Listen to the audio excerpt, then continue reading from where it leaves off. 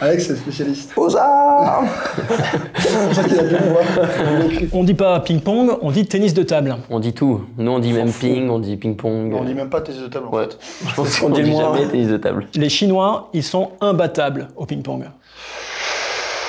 Bah, en équipe, force est de constater quand même que ouais, c'est compliqué de les battre. Mais euh, Imbattable, imbattable. On l'a vu quand même que Truls, il a, il a quand même fait. Donc, euh, et puis même nous, on l'avait déjà fait, pas encore. Toi, t'es t'es le plus fort, mais tu il y l'as a, pas encore il y a la pipe là qui apparaît. Non, imbattable, non, mais très fort, oui. ouais, c'est ça. C'est vrai que Simon et Alexis, vous, vous avez battu hein, des Chinois, tous les deux. Ah, tué les Chinois. Ouais, Des- des. Est-ce que c'est une satisfaction supplémentaire, quoi? Ouais, on va pas se le cacher quand même. Ouais, ouais. Ouais, ouais. Ah ouais, tellement. C'est pas un sport physique, le ping-pong? Faut demander à Simon combien d'heures de gainage il a fait pendant la prépa. Euh, ouais, non, non, ça c'est faux, c'est faux. Alors certes, il n'y a pas de l'endurance qu'il peut y avoir dans certains sports, mais c'est très physique, ça le devient de plus en plus, ça joue beaucoup plus vite, plus fort. D'ailleurs, c'est pas toujours bon pour la visibilité du, du, du sport, parce qu'il y a des fois où il y a moins de, de rallyes euh, euh, pour la télé, mais non, le, le- c'est en constante évolution. Puis quand on voit le corps du champion olympique, là, les cuisses qu'il a, Ouais, ouais, non. il y en a besoin quand même. Les pongistes, ils touchent la table entre chaque point uniquement par superstition. Ah, Oui beau débat, non. beau débat. Oui et non. Ouais, bah, C'est devenu un tic, je pense, mais à la base, c'est quand même pour la sueur. À la base c'est pour ça, mais en fait, euh, Mais même, dès que même quand on n'a pas de sueur, on le fait. Mais c'est devenu une manie pour tout, pour tout le monde, j'ai Ouais. l'impression. Les frères Lebrun, ils sont super connus en Chine.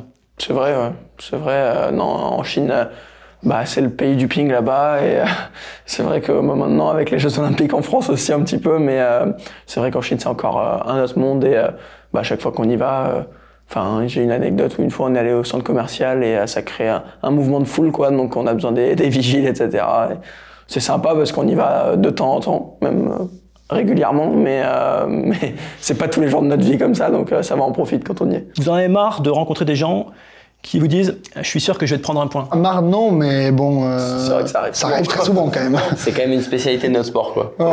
y a personne qui va voir un judoka et qui lui dit, toi, je suis sûr, euh, je te retourne, quoi. Ouais, je sais pas pourquoi, peut-être parce que c'est accessible, mais je peux pas dire Zizou, ouais, je te mets un petit pont, moi, je sais pas, je- j'en sais rien, ça m'est jamais venu à l'esprit en tout cas. ». Quand la balle effleure le bord de la table, on s'excuse auprès de l'adversaire, mais en vrai, on est bien content. Ah ouais. Ah oui, ouais. Ah ouais, surtout aux Jeux Olympiques. Bon, excuse-moi, aux Jeux Olympiques. Vu Simon faire un gros show Tokyo est folle Ouais, non, non, euh, bah, c'est un peu euh, des codes qu'on a dans notre sport. Ouais, il y a un peu moins de, de trash talk, un peu que, qu'au basket ou au tennis. malheureusement. Ouais, moi, je, moi, je kifferais, hein. Mais, Je pense aussi euh, que les, les règles avec les les cartons, règles, ouais, ils sont assez sévères. euh, c'est pas euh, facile. chez donc, nous, donc euh, c'est, tu peux pas trop t'emporter parce que tu prends vite euh, un point de pénalité ou des choses comme ça, quoi. Ça serait quand même sympa aux prochains Jeux Olympiques qu'il y ait une épreuve de tournante. ah, moi, si on peut avoir une médaille en plus sur ça, je la prends. hein. Lui, il triche tellement, en plus, c'est le jeu parfait pour lui. Plus on monte de niveau, plus c'est dur les tournantes. hein. Jouer trop fort. Ouais, on joue trop vite, trop fort, il y a trop d'effets, c'est impossible. En Euh, soirée, un petit peu, mais. Ouais, voilà, ou avec des raquettes de. Oui, avec des raquettes euh, comme ça, sur une table de jardin, euh, Ouais. au camping, Ça, oui. euh, mais Ça, c'est bon. pas dans, une, pas dans une vraie salle et un vrai entraînement. Félix, il s'est mis à servir en prise porte-plume à 4 ans parce qu'un joueur chinois s'entraînait dans son club à Montpellier. Vrai, oui, c'est le cas. Il y avait un joueur euh, chinois qui s'entraînait à Montpellier, qui jouait porte-plume, qui s'appelait Chen Zhan, il était en proie. Et, euh, C'est toujours Chenjan, je pense.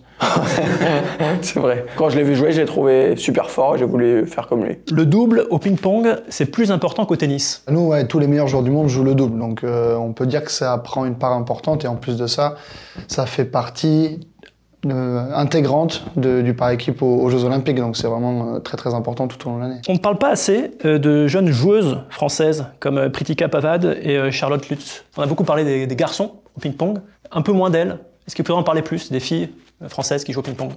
Oui, on pourrait, je pense. Euh, bah, Pritika, qui est très jeune, top 20 mondial, forcément, C'est quand même assez rare. c'est euh, c'est euh, maintenant une pointure un peu dans, dans le tennis de table féminin aujourd'hui.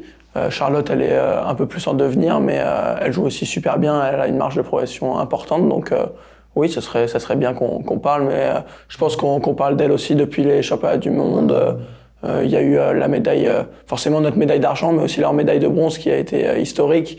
Donc euh, je sais pas si pas assez, mais en tout cas, euh, oui, si on pourrait parler plus. Ouais, de- elles aspirent, elles aspirent Ouais. à être quand même bien connues à l'avenir si ça continue. En septembre, il va y avoir vachement de nouveaux adhérents en club grâce aux bons résultats de l'équipe de France au JO.